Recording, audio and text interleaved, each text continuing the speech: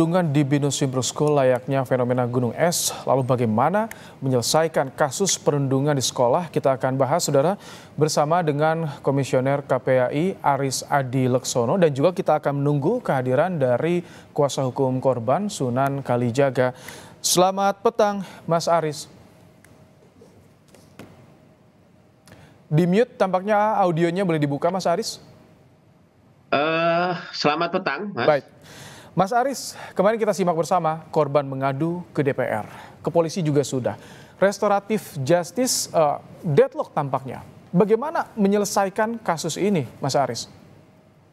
Uh, saya kira yang harus kemudian diperhatikan sesuai dengan tusi KPAI ya dalam hal ini uh, pengawasan yang harus diperhatikan ketika uh, terjadi semacam ini bahwa proses ini tentu harus mengacu kepada Undang-Undang Perlindungan Anak dan juga eh, Undang-Undang SPPA Sistem Peradilan Pidana Anak.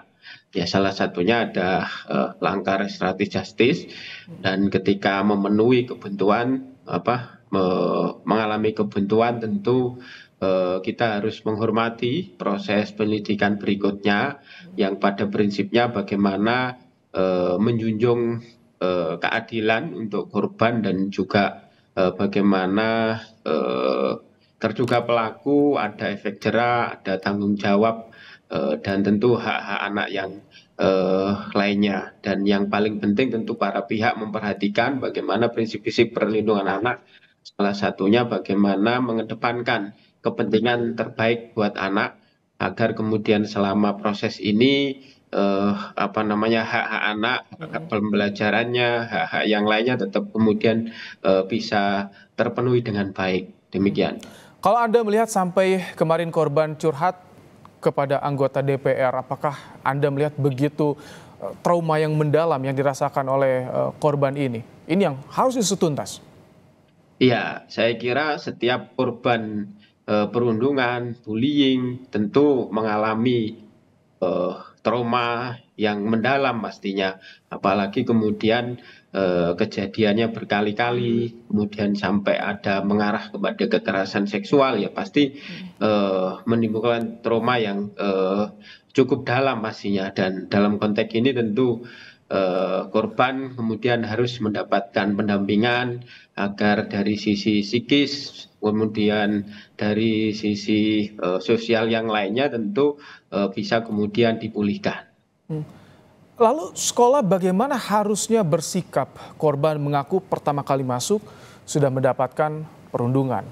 Di Januari bahkan yang viral itu. Bagaimana sekolah harusnya meletakkan kasus ini agar ada keadilan baik bagi korban juga bagi pelaku ini yang karena masih anak-anak nih, Mas Adi. Iya, tentu mengacu kepada undang-undang perlindungan anak bahwa satuan pendidikan wajib dalam konteks eh, apa namanya eh, memberikan layanan kepada anak salah satunya adalah layanan perlindungan kepada anak itu maka terkait bagaimana kemudian peran satuan pendidikan ketika terjadi kasus penanganannya dan seterusnya hmm. itu sebenarnya sudah ada panduannya di dalam uh, Permendikbud 46 tahun 2023 mulai kemudian memastikan bahwa kasus ini ditangani oleh tim PPKSP pencegahan penanganan kekerasan satuan pendidikan jika kemudian tim PPKSP ini e, dirasa kurang mampu dirasa menjadi tidak objektif dan seterusnya maka ditangani di tingkat satgas. Nah dalam konteks ini ketika sudah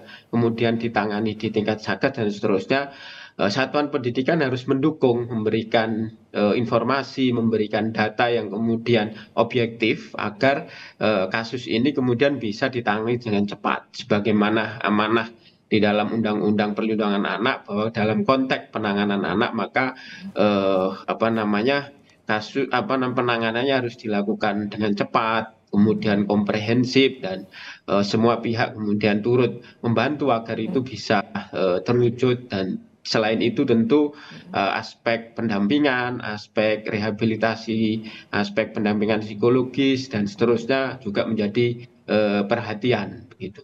Tapi sebetulnya kalau sekolah bisa tidak eh, dengan mudah untuk mendeteksi, memitigasi jika sudah mulai terjadi uh, cikal bakal perundungan mulai dari verbal hingga berujung pada kekerasan fisik.